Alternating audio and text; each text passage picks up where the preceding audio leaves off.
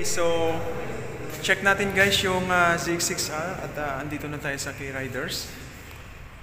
Ayan. Ayan po siya.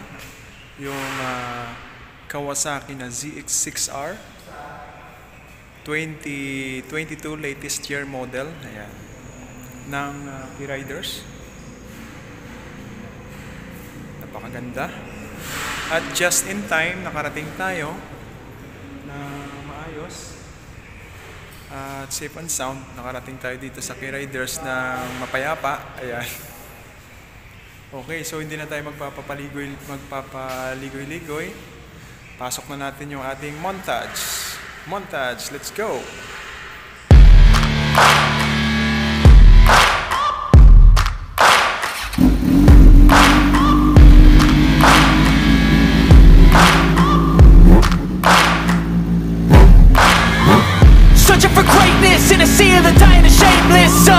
Of the aimless, I don't wanna be one of the nameless. I'ma wake up with the mindset that one day I'm gonna make it. And I don't think I'll be fine if I don't break my limitations. Don't try to stop me, I exist to write my own story. I'll make a decision if I want some peace or if I want the glory. Yeah, don't want a life that is complacent or possibly boring. I just want a life that is worth every day exploring. Ah. My whole life I just wanted someone who would notice me. My whole life I just wanted to be somebody to be. Yeah, I just wanna be great. Yeah, I just wanna be great. Yeah, I just wanna be great. Yeah, yeah,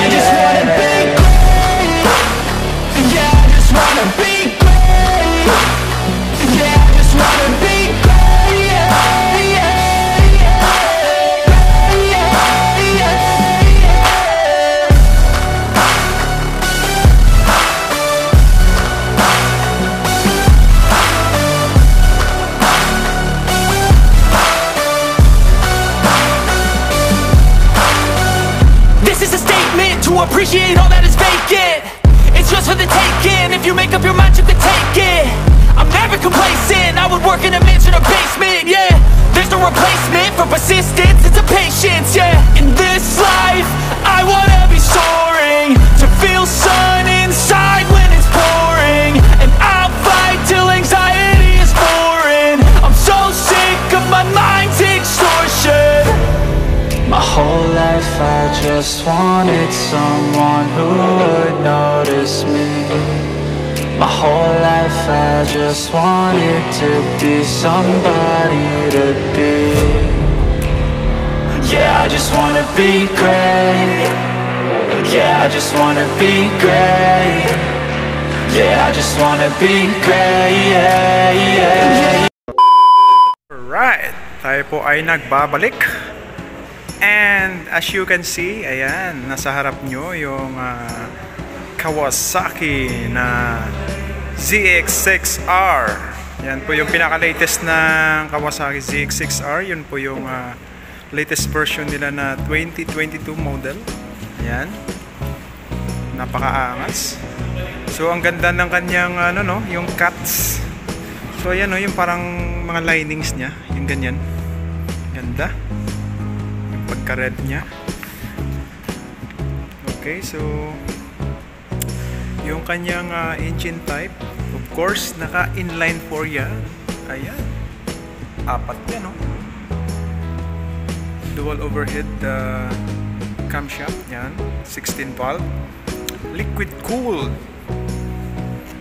So yung displacement niya is uh, 636 cc. Ayan. Fuel supply is uh, fuel injected.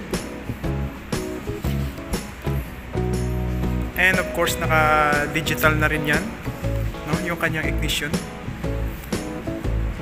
Mas lalong gumanda ay yung uh, ano no, mas maangas yung uh, 2022 model ng ZX6R. So yung kanyang front suspension, check natin. Ayan. Naka 41mm yan.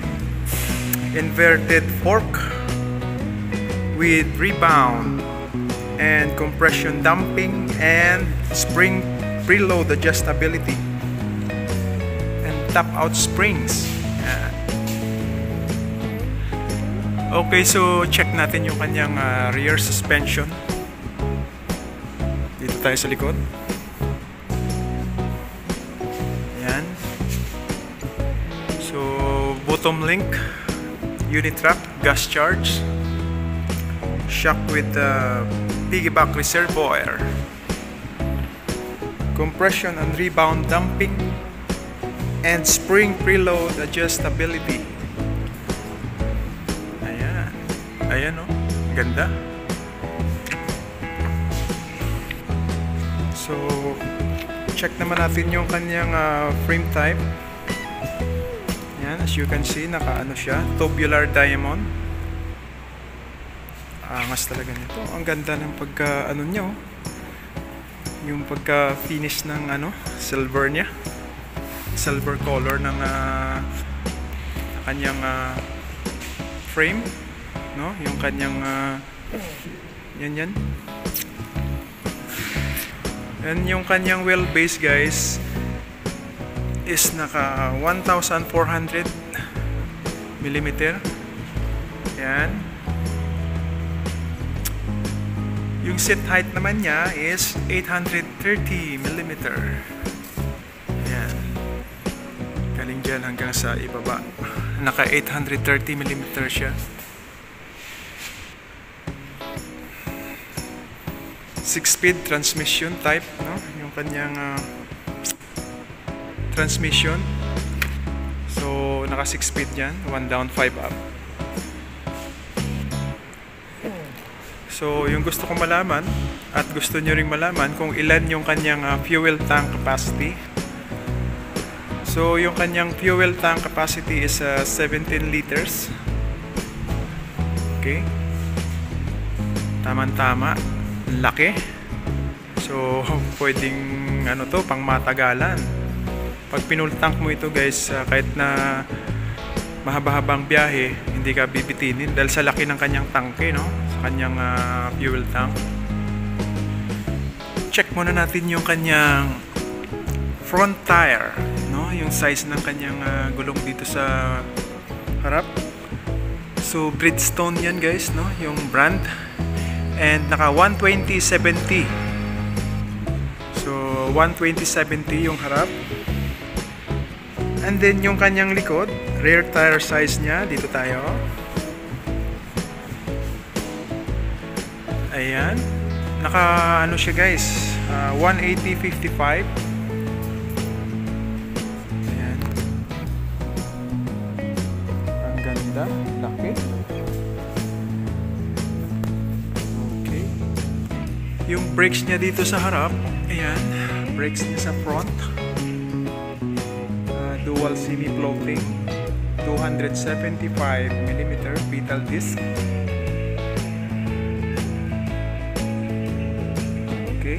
single 186 mm pedal disc yung sa rear naman is naka single 186 mm pedal disc dito tayo sa kabila dito dito dito, dito. ayan Okay, so ABS na rin siya. Yung sa harap at saka sa likod. Ayan. So ayan po yung ZX6R na 2022 latest model. Ayan, from K-Riders. Ganda. At yung nabanggit ko kanina sa inyo, no? Okay. Ayan, so ito yung kanyang ano, ito yung nagustuhan ko sa kanyo.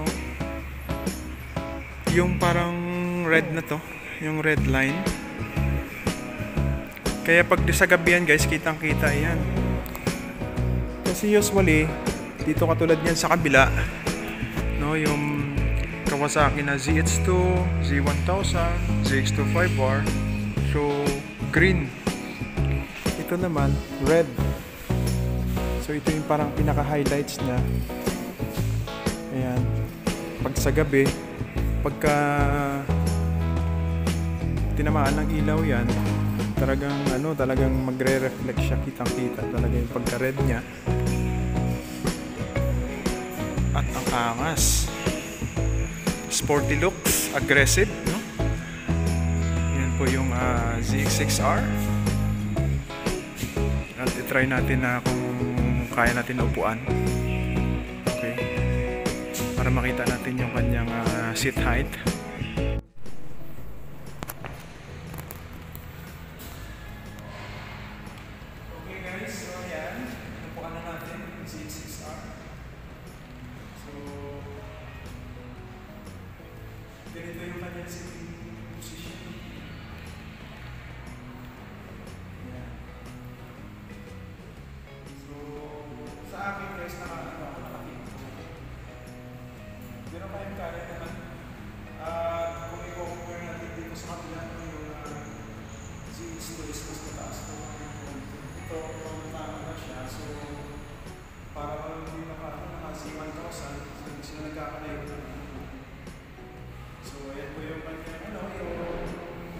Nakaupo tayo, nakapwesto tayo. Ganito mo yung paa natin. So, yung height ko po pala, by the way, is uh, 5'7 po. So, kung yung mga height ko is 5'5, yan, lapit po tayo konti, yan.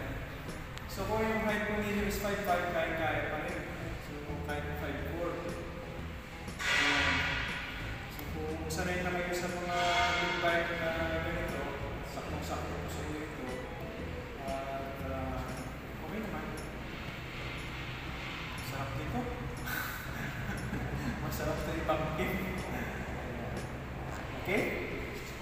Natapos natin na ano no, si- sinubukan natin na inupuan yung uh, 66R po. Para sa akin, saktong-sakto lang siya sa height ko. And tingin ko hindi naman siya ano, hindi naman siya nakakangawit kasi hindi naman siya sobrang ah, aggressive yung positioning ng ano ng motor no ng pag nakaupo na tayo unlike dun sa ano sa Yamaha kahit nga lang yung sa R6 nga eh R15 eh pagka matagalan talagang mapapagod ka kasi lahat ng bigat salong-salo ng ng braso natin. So dito sa case ng ZX6R is ah, okay naman siya. And ah, para sa akin eh ayos swab, swabing swabe panalo siya. Okay